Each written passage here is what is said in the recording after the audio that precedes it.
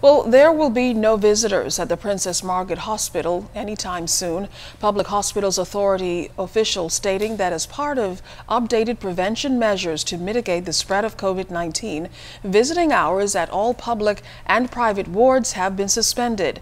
They also note that updates regarding patients will be made to the identified relative or guardian by the assigned physician by telephone. As for meals and beverages being delivered to patients, that's also restricted during this period. According to the statement, if a patient requires a personal item, the hospital will contact a relative or guardian regarding the request. In this case, the delivery must be prearranged with ward management. Efforts are also being made to provide video conferencing for patients on the children's ward so that they can interact daily with a parent or guardian.